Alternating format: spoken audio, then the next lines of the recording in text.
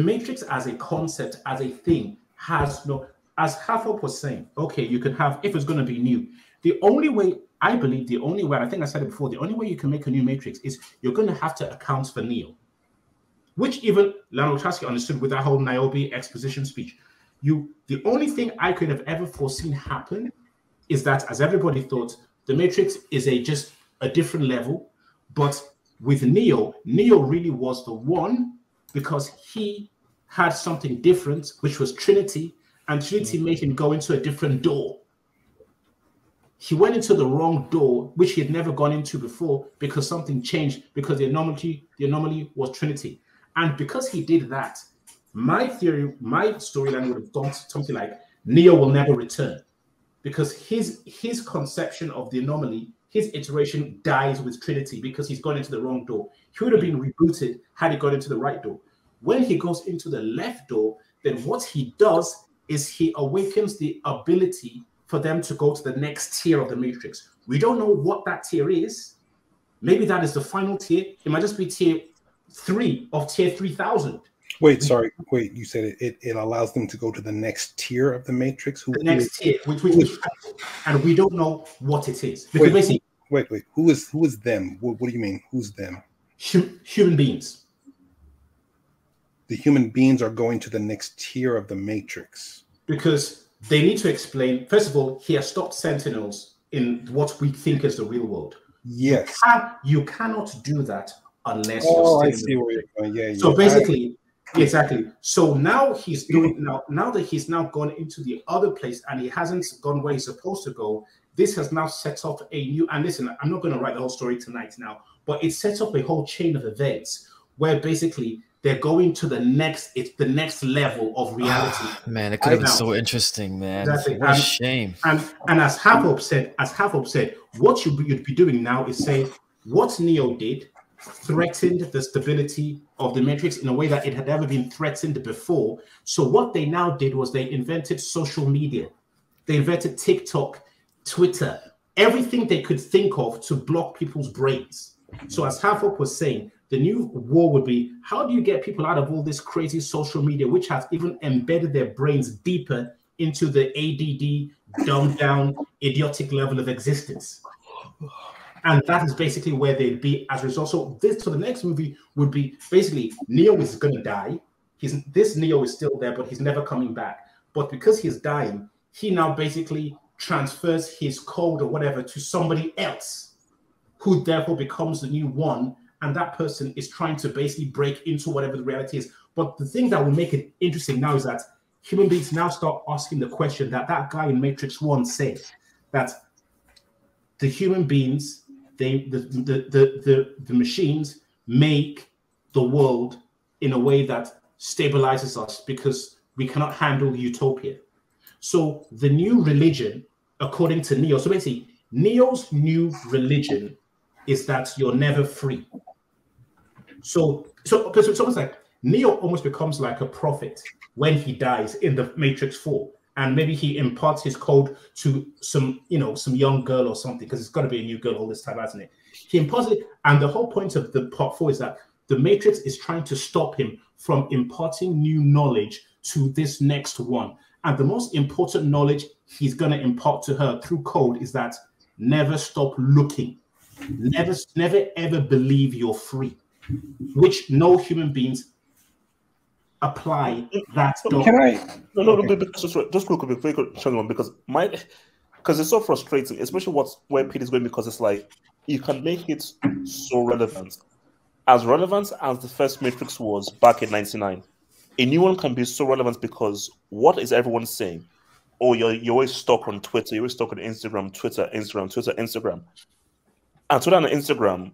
That is the prison holding you away from actually going out and actually living in the world. So the very theme of a new matrix is people will TikTok. always take that Is, is, TikTok.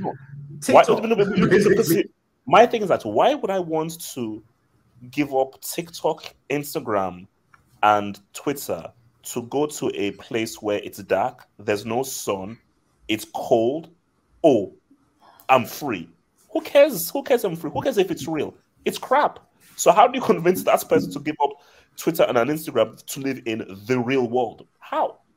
And that is your dilemma. So,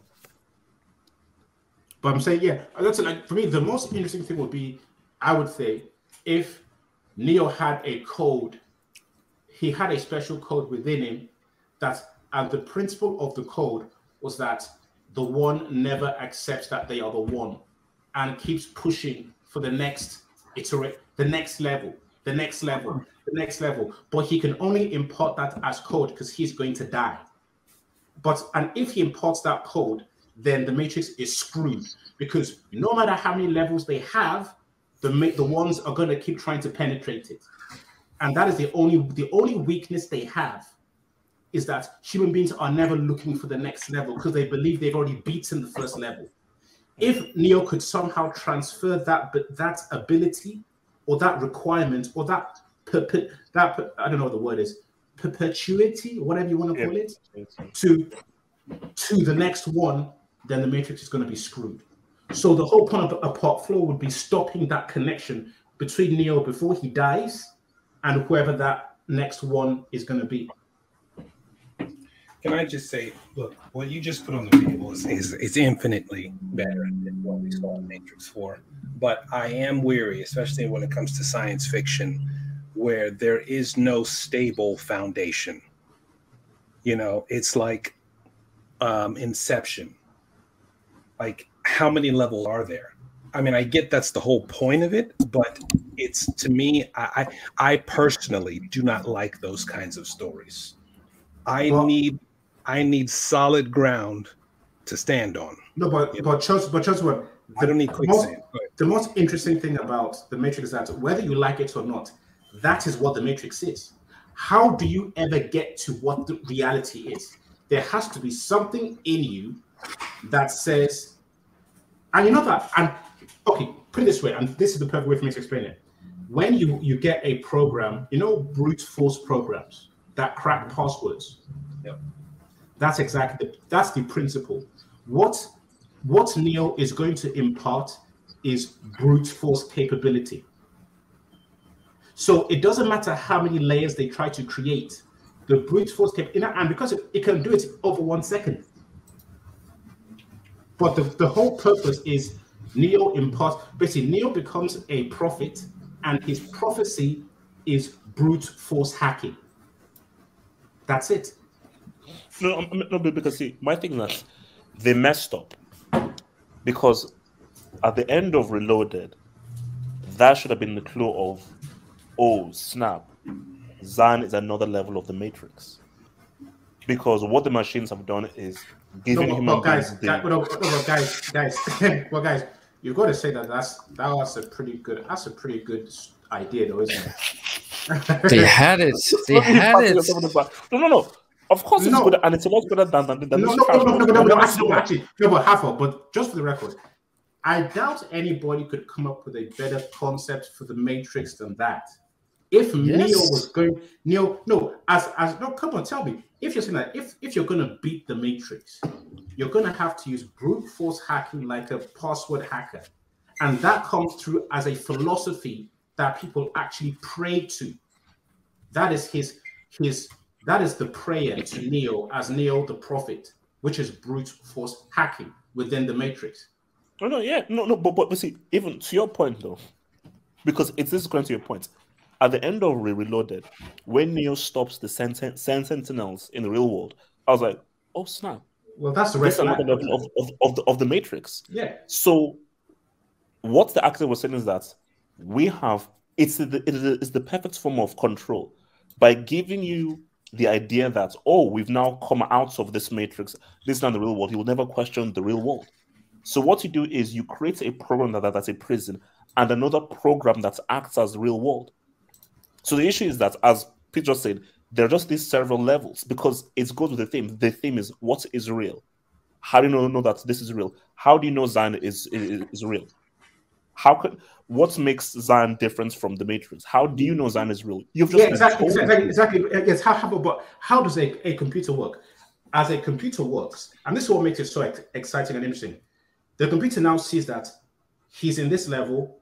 Now they, they, they think this level is fake, so we need another level. They're breaking through. But once they break through, you've got this. They now think that's fake, so they're going to break through that. So we're going to quickly before they break through it. It just goes on a- forever. gonna, so, so, and because that's how computers work, this happens can happen over in one second. It can go through a million calculations to keep making le- levels that they can't get through. So they don't even need to plan it. That's just how it's built. It just keeps making infinite variations of higher levels of that shell. You know, like almost like a Russian doll, layer, layer, layer. So therefore, you have this conflict. So your actual final battle, the final battle between the new one and the new Smith can be literally the brute force, the embodiment of Neo's Neo's philosophy, which is brute force hacking, can now find is basically fighting that infinite shell, the infinite Russian doll, creating new layers, layer, layer, layer, layer. And if it can ever outrun the speed at which it can create the new layer, they break free. It's all about speed. If the brute force hacking can accelerate beyond the, the matrix ability to create a fake layer, they enter the real world. And that's a philosophy. Fantastic story. Pap. I'm, cho- I'm chosen one. I don't. I know chosen one likes good stories. That's a cracking story. Chosen one.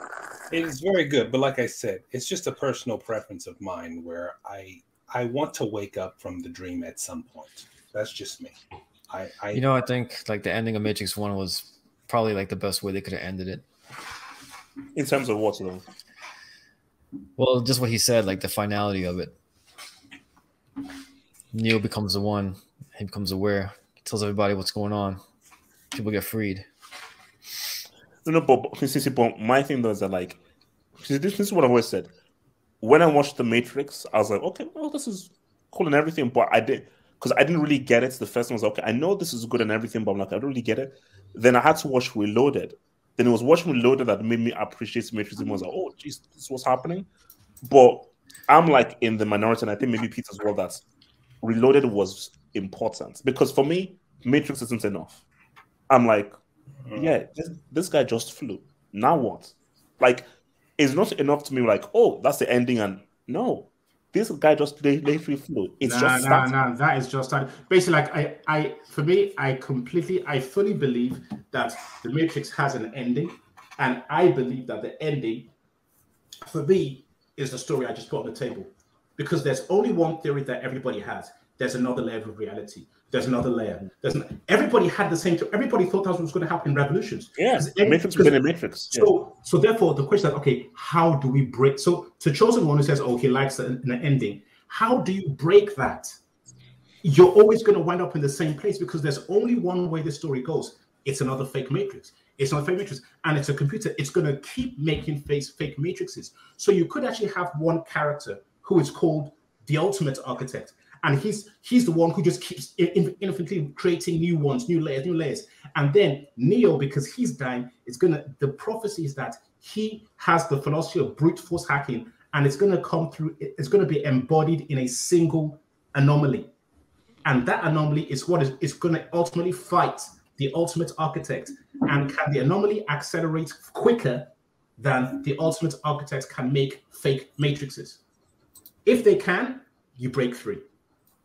That's So the what- only way but what's break free? Break free into what? into No, no, the no. actual real world. the actual real world. And the what- actual real world. Okay, that's fine. I'm just trying to walk through this. And what does the actual real world look like? We don't know. I don't know. No, no, no, we don't. Like, like, like, And, no one. and knows. chosen one, and, and chosen one. The ultimate ending is like the Truman Show. We never see what it looks like. Hmm. Yeah, yeah. Like the person, you just awake and then boom, it just goes to, to black. You That's it. now you're there. No, because see, for me, like that ending of Revolutions is a is is is is a, is a piece of crap. Like, oh, there was a truce and there's peace. And much no, no. If you want to continue the theme, what is the theme of the Matrix of the first film? What is real? How do you define real? That is the theme of the Matrix. So to carry on that theme of what is real is you questioning reality and you trying to wake up from this dream and now finally trying to wake up into oh this so so the whole thing of the matrix whether it's four five six seven eight is all in search of the real world we're trying to break out of the ultimate prison this is like the ultimate ultimate prison with the main aim of I'm trying to we're trying to really gain free and actually get into this real world that is hidden under several levels of these um constructs, you know. I mean, why I that, feel like- that would have been one of the endings of the century if revolutions actually ended like that, man. Or like, You that- like as a matrix. You know that No, basically half half of you know that, you know that literally people will not people will actually not accept to die as humans until they put out a potful. If they Well, did no, that in, in 2003, no, no, no, no. See, if if they brought us an ending where like these, well, basically you see them celebrate, like, oh, it's a pieces of celebration, and then the, the camera just pans, and then and and you were like in Zion, and you basically just see you just see like a green code just come up no, in or, Zion. or, like or, or, or, or if somehow they're all celebrating, but then it pans and they're just like one screen of many different screens. And Oh. there's you know, and there's some and there's somebody just sitting down watching them, all different, Yeah. cele- you know, celebrations in different variations. Boom, and and then I'm telling you, people will not die on in life until they bring out Matrix. Yeah, no, no, no, no but, but, oh, but that is how it should have ended. it's like so no, this, this is like uh, sorry. The moment you saw Neo stop those things in the world, I was like, oh yeah. And also, even when you look at the beginning of re- revolutions, when you see the golden code go into the green code, like, oh yeah, like it's obviously this is obviously a different level. And obviously, Neo being the anomaly, he's obviously cracked mentally, psychologically that oh, I've now cracked that cracked that this is fake, this isn't real, this is another level. So Yeah, yeah, yeah. Or, or, or it could be something like um, you remember um, Flash Gordon at the beginning where they're saying, "Oh, oh I do like to play with you." When you talk about Earth, what's this is Earth? Or like, basically, like if like they, they, they sort of showed them, you know, the um um what's it, it um the Oracle and the um, architect, and you know when they're sitting and see, see that rainbow and when they Oh, have yeah, the yeah, and then they're just on one screen. Then it pans out, and there are many different screens of different people celebrating. So, and then there's somebody sitting there, and they say some line like "stability achieved" or something mm, mm, like mm, that, mm. just to ram it home. Boom, that's it. Yeah, because because once that happens, it's like this is an ending, but you're like, no, now what? but but the ending makes sense because the ending connects with what this entire Matrix thing has been about, which is what is real. Because because it's it runs home so well because Morpheus just told you what is real. How do you define real? But once you went to the real world, we didn't carry on what Morpheus told us. That why don't we question when we're in the real world? We just don't question it. You know, I'm, I'm, just looking just at I'm just we're in the looking at this world. picture. I'm just looking at this picture. See, see, see, and I think It's a, it's, it's, it's, it's, it's a difference. There's a Look, difference. I, am looking at it. I'm, I'm thinking about Luke, and I just think myself, see, people, it's it's very it's very simple. It is literally about there's a a concerted effort against you might call it the white wasp, the white Anglo-Saxon male Protestant guy. That that person is like you want to look at that image you just you just had of him flying, and you want to destroy it. Yeah. You know, there's a, you know, you look at the image of Luke at the end of Last Jedi when he's coming to celebrate with Han and whatever you call it, and you just want to dis- you want to destroy that. There's something about you that you want that concept destroyed.